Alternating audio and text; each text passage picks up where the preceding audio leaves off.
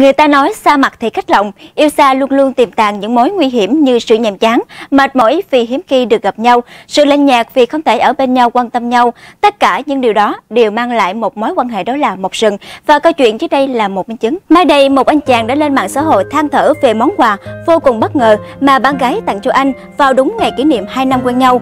Theo đó, anh chàng vì muốn tạo sự lãng mạn cho người yêu nên đã phóng xe máy từ Hà Nội xuống Quảng Ninh để tặng quà cho cô. Đến nơi, anh chàng giả vờ nhắn rồi kêu sẽ cho người ship quà kỷ niệm đến, nhưng cô nàng không có nhà, ngồi ở quán nước bên đường chờ người yêu về, nhưng bắt gặp bạn gái mình bước xuống xe hơi, còn ôm hôn một người đàn ông lạ mặt trước cửa nhà. Ngay lúc thanh niên kia đi, cô nàng đã gọi điện thoại cho bạn trai báo rằng cô đã về tới nhà. Ai ngờ bạn trai xuất hiện ngay sau đó làm cô lúng túng. Cả hai cãi nhau, anh chàng cận hỏi người đàn ông kia là ai, nhưng cô không nói và kêu anh về cho cô suy nghĩ thêm.